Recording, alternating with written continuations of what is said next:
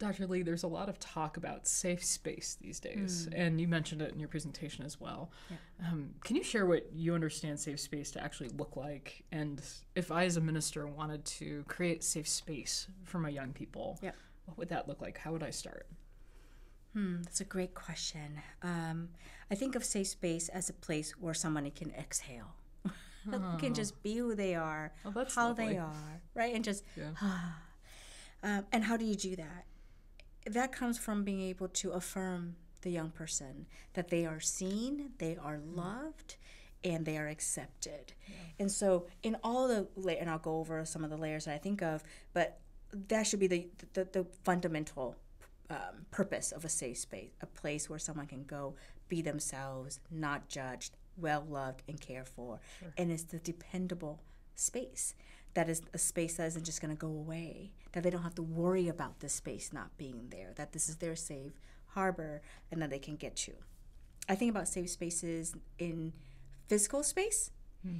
So if you're designing a, a, a, a, youth hangout room or you know space, what are the visual cues you're providing this young person that they're seen, affirmed, loved, hmm. and that they're welcomed? Hmm. So in my office, for example, if you were to walk in, you will see, you know, I have rainbow flags as, you know, on my table. I have Black Lives Matter on my computer. Mm-hmm. I, there's all these cues that without even saying anything, They you know. already think, I hope, right, that Yeah. you're picking up some safety cues from. Now, you might still be skeptical because young folks tend to check us out before they um, give all themselves to us. But Sure. um, but that is that space inviting? Is that space welcoming? And do you mean it? You know, is it just a poster? Is it just a sticker? Or do you really, you know, are, what are the books ti- book titles around the room? Like, Yeah. What are you, what are those cues you can send? sometimes kids get attached to very specific parts of a safe space. I remember even talking about it in presentation that you know kids can be attached to a couch. You know, I remember this couch. I grew up going to church groups, and we always hang out on this couch, and it's gross and nasty, but I love this couch, right? And, Right. And I think as Yeah. adults to be cognizant of that. Yeah. And so when you remodel, when you update a space, be of the careful. couch. yeah, that you might be removing some some um, attachment objects Hmm. for young people that to them was a safe space. And you'll hear that. You might hear folks come back to group and they say, "Where's that couch? Oh my God, you got rid of that couch." Yeah. so really Yeah. think about being thoughtful about the space, and it's really their space. Yeah. And I think about people.